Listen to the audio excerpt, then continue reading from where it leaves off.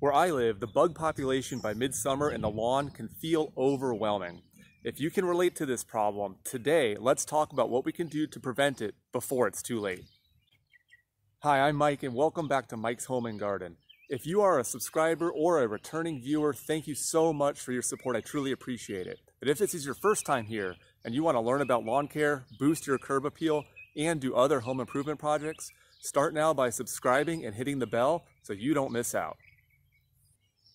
By putting in some preventative measures in your lawn early in the season, it's going to ensure that by mid to late summer, the bug population does not get out of control. Today, I want to talk about some of the things that I've done in my lawn that have worked very well through the years. So I want to review what products I like to use, how to correctly apply them, and then stick around to the end and we're going to talk about some best practices to do around your lawn to ensure it stays bug-free all season long. Now, last year, the army worms wreaked destruction over much of the country. Many lawns were destroyed because of them. So, taking preventative measures like this today will ensure army worms and bugs like grubs and other insects that can destroy the lawn do not feel welcomed in your yard. And as always with all my videos, I drop some timestamps down in the description. Feel free to move around to the information that you need, but I do encourage you to stay all the way to the end so you don't miss out on anything. Now, for what product to use, there's a number of different options to choose from. When you go to the bug control section of your local hardware store, you'll see granular and hose end applications, synthetic and organic, as well as a variety of different brand names. What I recommend is you look for something that is broad spectrum, where it treats and prevents a number of different insects, and also that it's affordable. You don't need to break the bank on this product to ensure your lawn has bug control. Now I mentioned that I've tried a number of different products on my lawn and I've landed on one that's my go-to time and again. It's the Triazicide by Spectracide and it's the granular option that I like the best. This one bag can treat up to 12,500 square feet. My lawn is only about 5,000 square feet, so I get two applications per bag.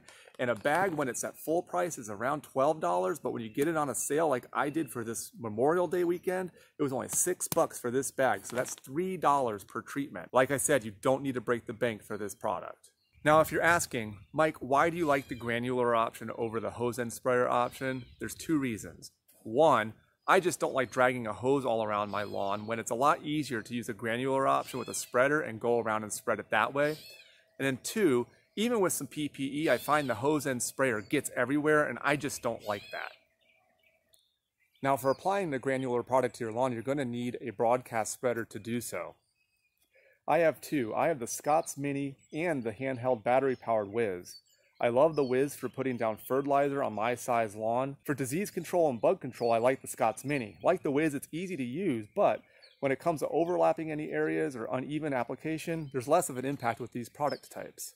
Before you get started applying the product, ensure you read the back of the bag and understand the instructions, especially the application rate needed for your spreader type. Since this bag covers my lawn twice, I only need to weigh out about half of it to put in the spreader for today's application. Once the product is measured out, start by doing a perimeter pass with the edge guard on and then follow that up by walking in lines about 5 feet apart through the lawn. Once you've gone in one direction, then go in the perpendicular direction to create a grid pattern. This is going to ensure even coverage. Once applied, you either can water it in or simply wait for Mother Nature to do its job with an upcoming rainstorm. If you find this information useful to control bugs in your lawn, be sure to smash that like button and drop me a comment down below. Now, aside from putting down that application of bug control, there's some best practices you can do around the house all season long to ensure that your yard remains bug free. The first one is to ensure you get rid of any standing water. Dump out any buckets that may have water around your house and ensure that any kids' pools are properly drained and stored away, gutters are clear, and that bird baths are cleaned out. Another tip is to ensure your trash cans are properly sealed and kept away from gathering areas. When you take out the trash, ensure the lids are properly covered and, when possible, that the containers are not near any gathering areas where people are. Another important thing to do is to ensure your lawn is properly cut and trimmed. Avoid any tall brush or weeds around the yard or up against the house. Keeping the lawn groomed ensures that there's no place for bugs to find a cozy place to live. And finally, when you have a gathering in the evening during the summer, use citronella candles or tiki torches. The smell of citronella will repel mosquitoes and bugs that find their way into your area, and the tiki torches just look cool. Following these basic practices plus putting that application of bug control down will ensure that all season long your yard remains bug free. With the bugs under control, if you want your yard to also be green all season long, check out the video on your screen now. It's going to give you two easy plans to follow for your fertilizer schedule. Thanks so much for watching and I'll see you on the next video.